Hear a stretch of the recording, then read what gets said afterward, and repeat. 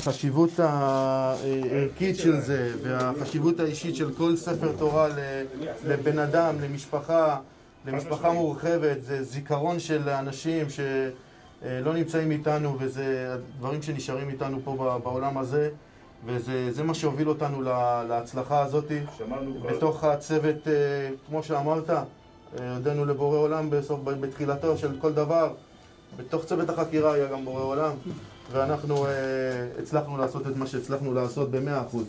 תושבי שדרות היקרים, ברגע הראשון שהתוודע הנושא אני הרמתי טלפון למפקד התחנה ומפקד התחנה הבטיח לי שעד סוף השבוע הם יחזירו את ספרי התורה וימצאו את מי שלקח אותם ויחזירו אותם היום לבית הכנסת. אני רוצה להודות לך בשם תושבי שדרות.